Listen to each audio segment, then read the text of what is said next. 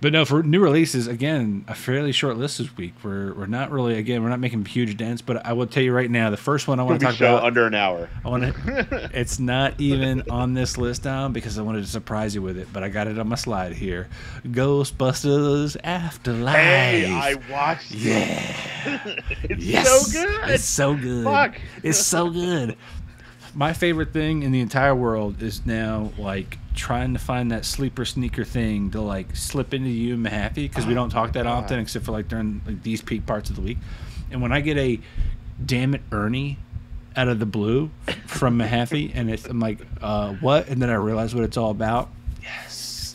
yeah. Ghostbusters Afterlife was a true love letter to the original two films, and then a little bit of a, a hopeful love note to what could be next. I, I loved every minute of it. dude so i watched so i watched the uh melissa mccarthy kirsten wiig I enjoyed that uh, movie.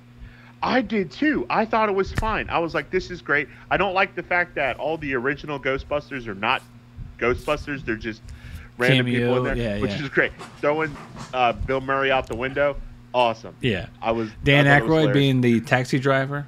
yeah i ain't afraid Fan- of no Ain't afraid of no ghosts. Boom. um I, thought it was fine and then i watched this and i'm like fuck this was so fucking good Have you said uh, this movie sent him down a spiral? Yeah, man. I I was getting all kinds of goosebumps. I think you know I don't know about most people, but when I get the chills or goosebumps, whatever you would call them, my nips get hoard.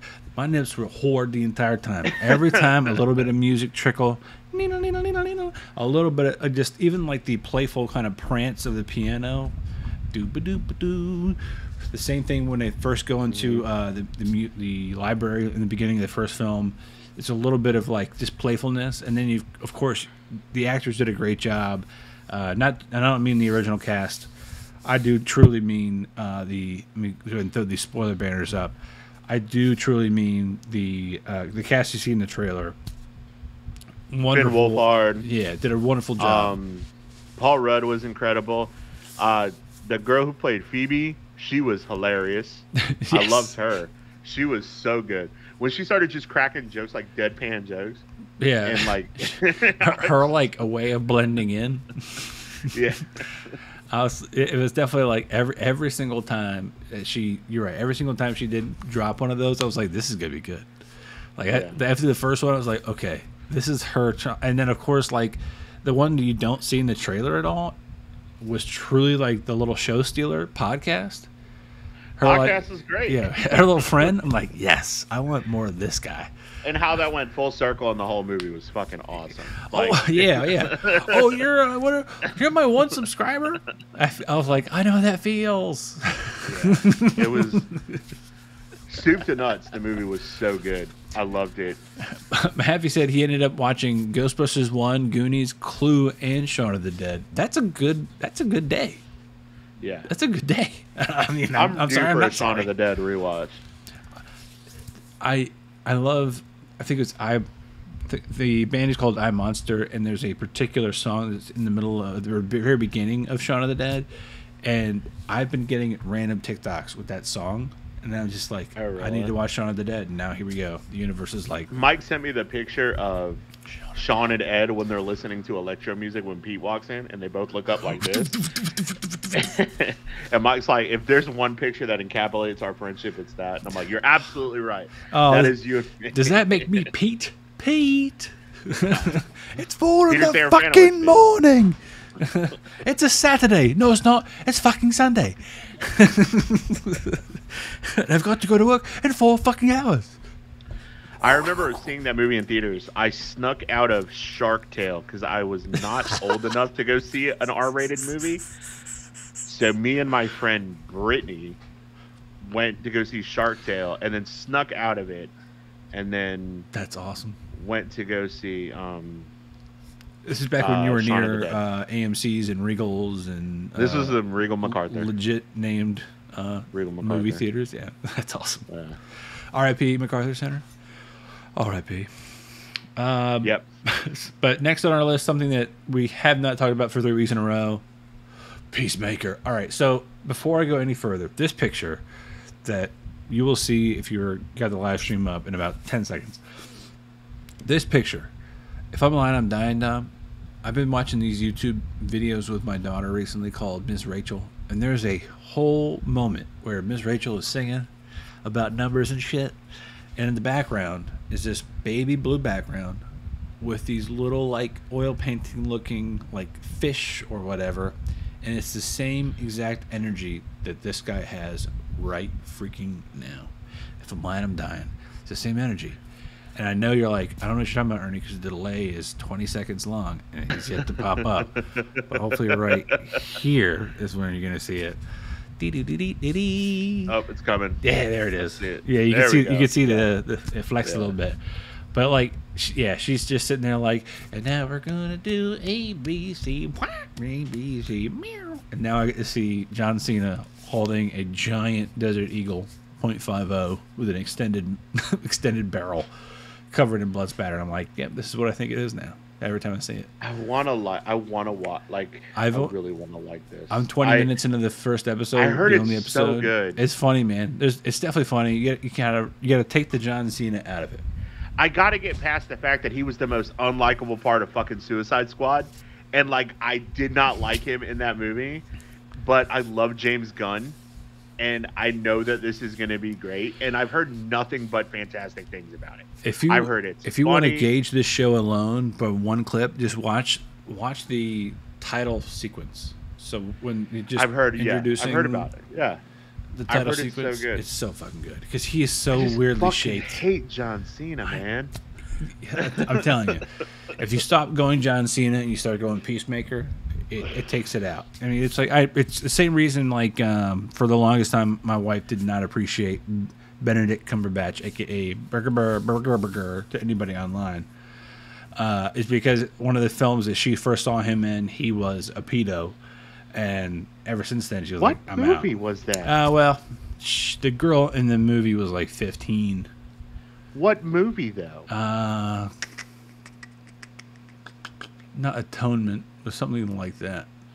oh, yeah, it's one of those. It was period. It was, yeah, it was a period was a piece. period piece. Yeah. He ends up marrying the girl later on, which doesn't make it okay, but it's definitely still weird. So in her brain, though, that guy not so great, and I'm like, yeah, but he's an actor, and the reason you don't like him is because the actor's so good. But eh, artist and I don't art. like John Cena is because he's fucking John Cena. because he's a giant Ernest goes Ernest P Worrell. but no, so far so good. Uh, I heard haven't seen the rest of it. I Obviously, watch it. the rest of the actors uh, are, are are just as fantastic as he. Well, according to you, they're better than he is. So, but I digress.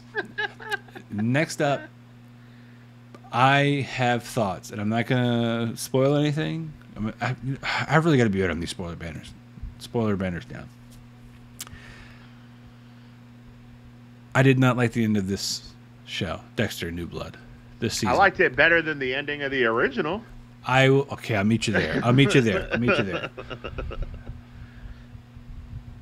I went into this show knowing that this was the end game. Ah, I'm a spoiler, spoiler, spoiler burner. Just spoil it. Spoil it. Like, okay, yeah. just put a spot. I was. I went into this. I went into this knowing that him getting popped was the end game. I I went into the show knowing there would be like a, a naked dick shot of fucking what's his face, um, the Kurgan.